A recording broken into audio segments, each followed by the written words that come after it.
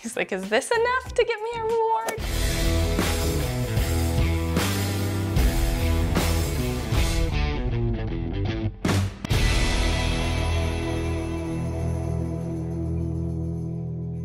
Good morning. Kat here with Standing Stone, and this is our little puppy Hex.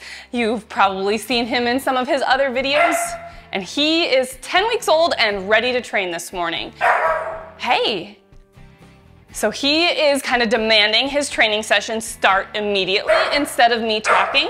So I'm gonna actually call him to me and hold on to this little guy and see if that can settle him down just a little bit so I can give you a brief intro of what our plan for today is and then get started with his training session.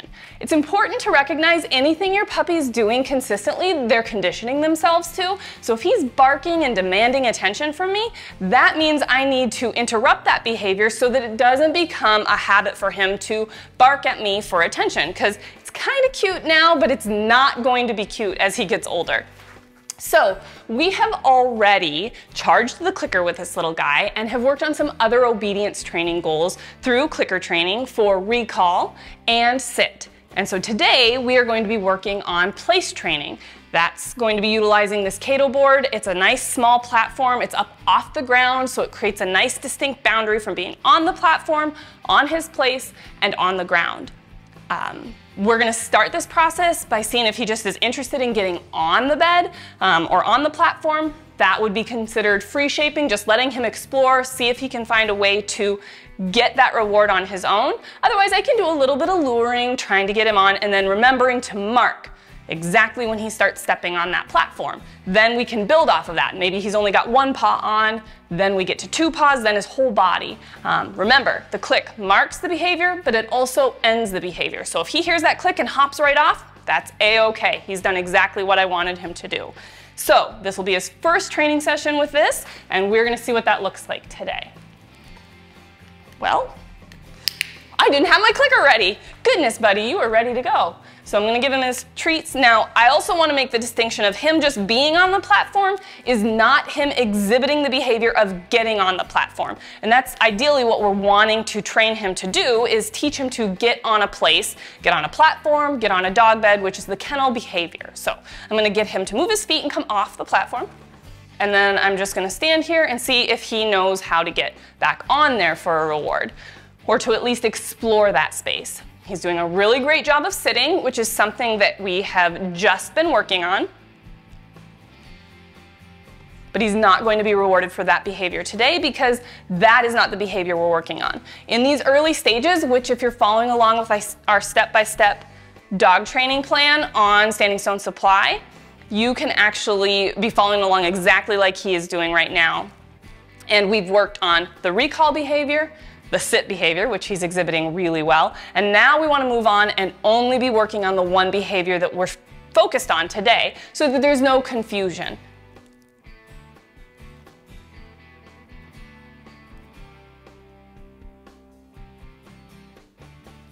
Just move my feet. Sometimes that gets them to refocus, remove their feet. Hex. Just moving his feet, might get him to explore the platform again. Good. So not really baiting or luring him onto the platform, just moving around it to create some movement and momentum in this session to see if I can get him to do a little more on and off on his own. Yeah, that's a good puppy. And I uh, absolutely prefer him sitting thinking he's going to get rewarded than jumping all over me. So it is a good behavior, and that's one of the reasons that we condition it. So get him to move off, stand here patiently. Very focused. This is awesome, this level of focus that we're seeing out of him already. But sometimes we need him to just move your feet a little bit more.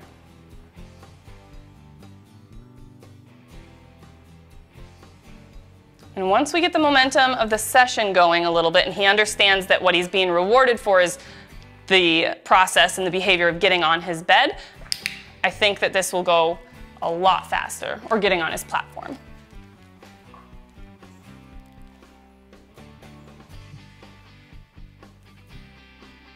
Good boy.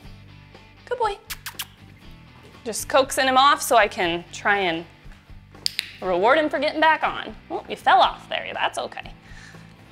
Getting you off the bed is the important part so that we can mark you getting back on the dog platform. So he's already fully gotten on the, the, the, platform before, so that one paw on thing, I'm not really gonna mark because I wanna make sure that he's getting completely on the platform now, which he's already shown that he can do.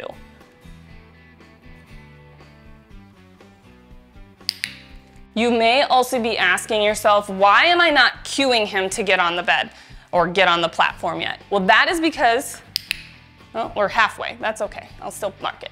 Um, that is okay uh, we're still making progress of getting on the bed a little bit here on the platform. I keep calling it a bed. Not that he's going to sleep on this thing, but we utilize this same behavior for everywhere we want our puppies to go. A platform, a Momarsh stand, the back of the truck. Obviously, he's not going to be getting himself into the back of the truck yet, um, but these platforms and things like that all are the same behavior of going somewhere, which is the kennel behavior. But back to why I haven't started utilizing the cue kennel because he really doesn't know this behavior well enough yet. He's still offering a lot of sits, a lot of just standing and looking at me because he's still not 100% sure what he needs to be doing to get this reward.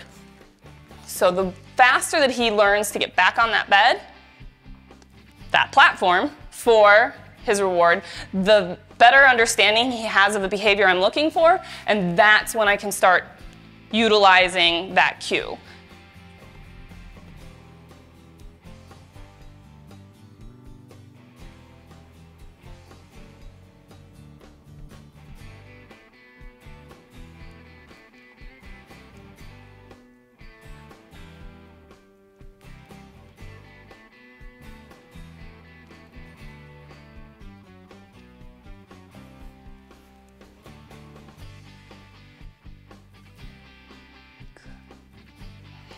He's like, is this enough to get me a reward?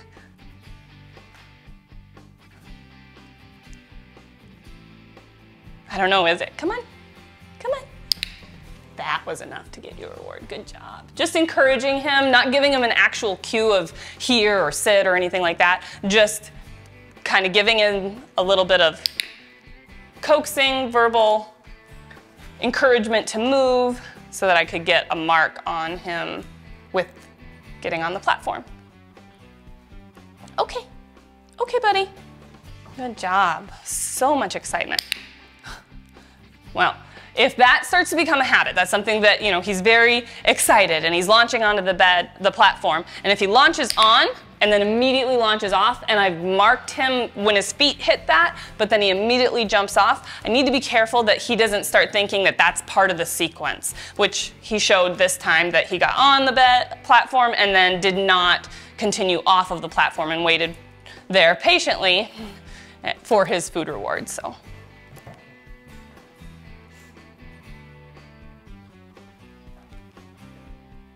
So close. A little closer. You're doing good. Good boy. Come on. Come on. Just a little more.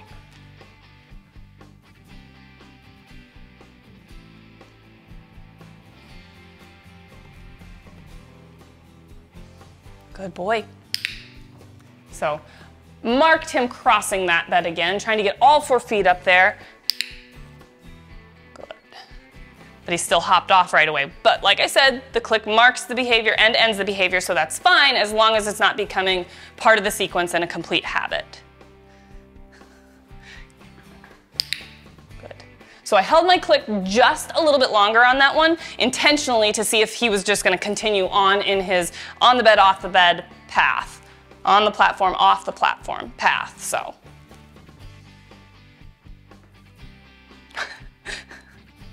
Three, three paws, then back to two. We're getting a lot closer.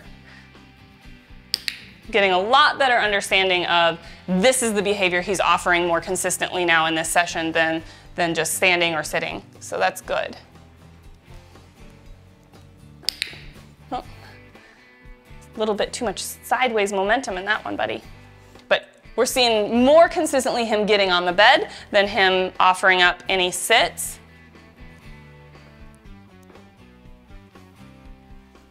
So we're getting there. with his understanding. We are still nowhere near ready to introduce the cue, which is why this process typically takes most puppies one to three days. And since we're utilizing their meals for their training sessions, that ends up being, you know, a meal in the morning in a training session, a meal in the evening in a training session. So upwards of six training sessions before we're even introducing the cue. So, um, and every puppy's a little different, so keep that in mind when you're training.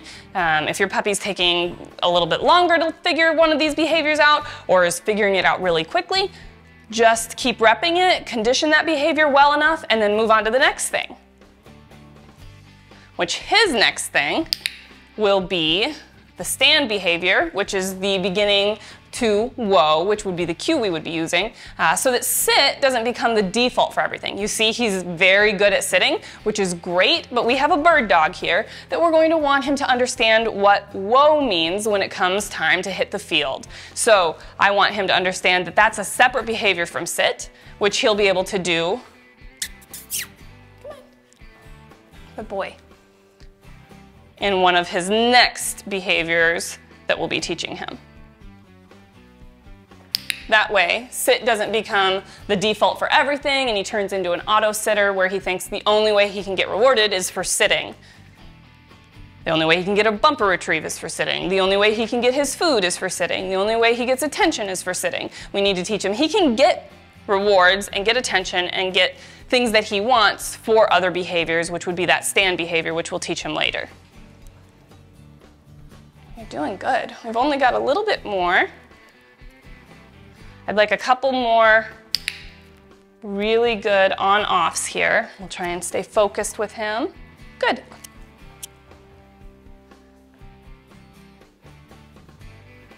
Utilizing my body and movement to kind of lead him, coax him to move his body in that direction is completely fine at this point. Eventually, we're going to want him to be able to move to the platform without my body language pushing him that direction. But this is his first time getting the understanding of getting on this platform is going to earn him a reward. So that's um, not an expectation for him in this session. But it is a place that we're going to want to progress to.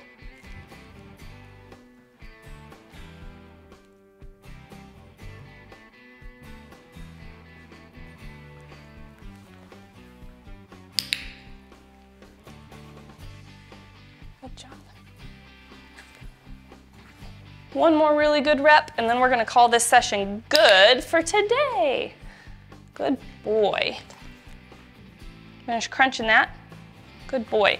So this was Hex's first training session with learning how to get on a platform, learning the beginning of the kennel behavior. So he is going to utilize his meals in the next one to three days for this process. Um, we'll be definitely doing his evening meal this way because he's showing a good understanding, but he needs more reps. He needs more practice. Then we'll be moving on to, like I said, that stand or whoa behavior. And if you're following along with his series, definitely keep notifications turned on and subscribe to our channel so you don't miss another one of his videos. Till next time, I'm Kat the dog trainer. This little cutie is Hex, and we'll see you in the next video.